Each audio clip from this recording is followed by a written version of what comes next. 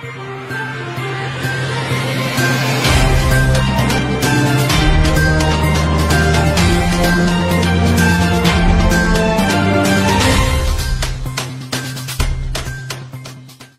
بالکل، جیسا کہ آج لاہور سمیت پورے پاکستان کے اندر جشن آزادی کا جو تہوار ہے وہ بڑے جوش و خروش سے منایا جا رہا ہے، ہر گلی میں، ہر گلی کے کونے میں جو ہے وہ لوگ اس تہوار کو منا رہے ہیں۔ آج یہاں پر آزادی ٹی ٹوینٹی کپ جو ہے وہ منعقد کیا گیا اس حوالے سے۔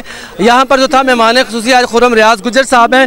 جن سے ہم بات کریں گے کہ خرم ریاض گجر صاحب سے کہ خرم ریاض گجر صاحب آج اکہترواں جشن آزادی کا جو دن ہے وہ منایا جا رہا ہے اور پاکستان کے ہر گلی میں، ہر کونے میں لوگ جوش و خروش سے یہ دن منا رہے ہیں۔ کیا کہیں گے آپ؟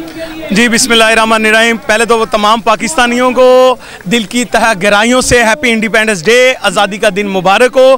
اکہتر سال کا ہو گیا پاکستان، اللہ پاک اکہتر ہزار سال کا کرے اور قیامت تک پاکستان اسی طرح ترقی پذیر ہو اور ہاں، جو ہماری یوتھ ہے، یہ اپنا پورا رول ادا کرے۔ اس کی ہر ترقی میں اور خاص طور پہ اقلیتی جو ہم عیسائی برادری ہے، مسیح برادری ہے، میں ان کا شکر گزار ہوں۔ یہ پاکستان کی ہر خوشی اور غمی میں اپنا رول ادا کرتے ہیں اور بھرپور رول ادا کرتے ہیں۔ اور میں ان کو یقین دلاتا ہوں، ہم ان کے ساتھ کھڑے ہیں، مسلمان برادری اور کردار کے ساتھ ادا کھڑے ہیں۔ اور پاکستان کی ہر خوشی میں، ہر مشکل میں ان کا ساتھ دیں گے۔ اور یہ، اور یقین رکھتے ہیں، یہ ہمارا ساتھ دیں گے۔ جی مسیحی برادری کے ساتھ ہر وقت ہر مشکل گھڑی میں کھڑے ہیں۔ یہ کہنا ہے خرم ریاض گجر کے ساتھ، آپ نے دیکھا ہوگا کہ فرحان کیمرہ مین نے دکھایا ہوگا کہ یہاں پر کتنا جوش و خروش ہے اور آج کا جو دن ہے، اکہترواں جشن آزادی کا جو تہوار ہے، وہ نہ صرف لاہور بلکہ پورے پاکستان کی ہر گلی اور ہر نکر میں اسی طریقے سے منایا جا رہا ہے۔